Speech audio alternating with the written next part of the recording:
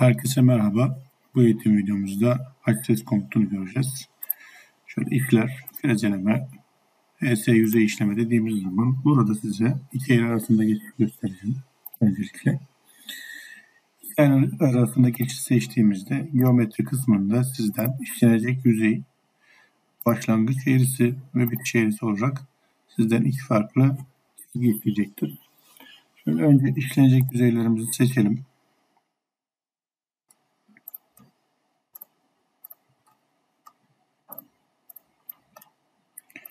Hızlıca işlenecek yüzeylerimi seçiyorum.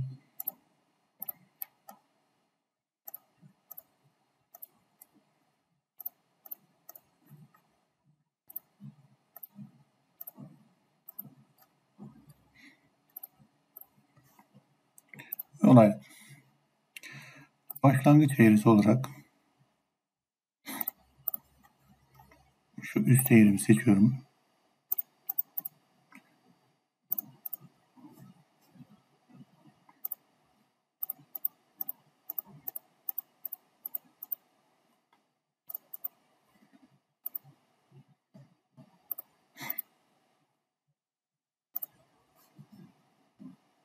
Şöyle devam edelim.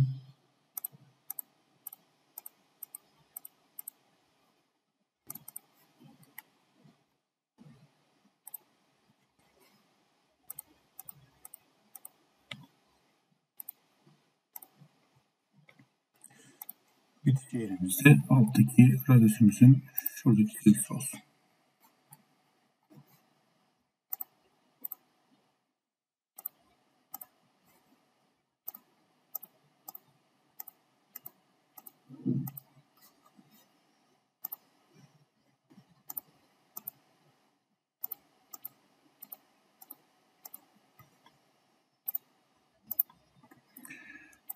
Takımımızı seçelim. Alt küre takım. Yer aldığımızı da değiştirelim şöyle. Öncelikle şöyle bir hesaplama yapalım. Nasıl takımımız olsun çıkarım. Şimdi tek ön kesim yaptığı için sürekli kalkış yapıyor. Araları biraz daha sıklaştırabiliriz.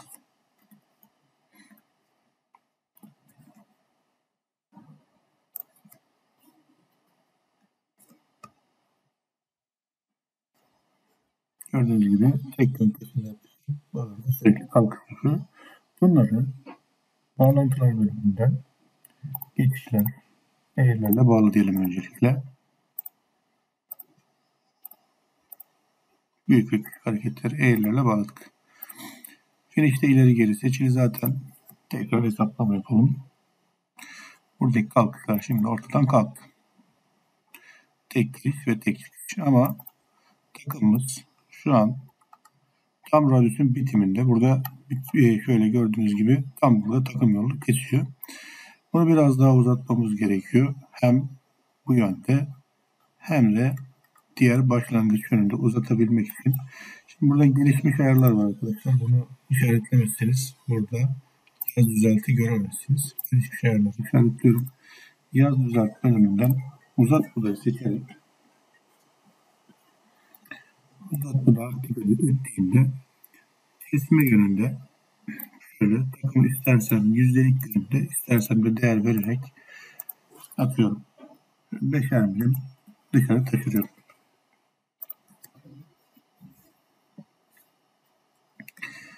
Şimdi burada takım yolunun biraz sapıttığını göreceksiniz. Şunun gibi. Bunun sebebi üst çizgimizin alt çizgimizden biraz daha uzun olmasından dolayı kaynaklanıyor. Burada mesela iki çizgi de aynı mesafede olduğu için burada bu takım yolunun açılmasını göremiyorsunuz. Tabi bunu da yine tıkla e, şöyle gördüğünüz gibi Extend Edge Curve seçeneğini işaretleyerek bu sorunu ortadan kaldırabilirsiniz. Alttaki kısa körlü uzun körlüğe kadar otomatikman uzatmış oluyor. Bunun için diğer programlarda yüzey atmanız gerekiyor.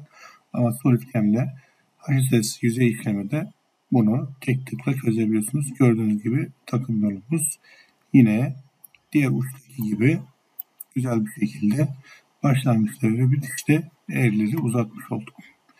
Bu takım yolunun aynısı diğer tarafta da olduğundan dolayı Güzel işlemlerle birlikte aynalaya girerek takım yolunu aynala diyorum. Buradaki eksenime göre hangi düzlemde aynalayacağım? Y ekseni düzleminde aynalayacağımı seçerek tamama basıp tekrardan hesaplıyorum. Ve aynı takım yolunu karşıya aynalamış olduk. Buradaki işini bitirdikten sonra kalkacak. Diğer yüzeydeki radyüsü de aynı şekilde yapacaktır. Bir sonraki eğitim videomuzda görüşmek üzere. Hoşçakalın.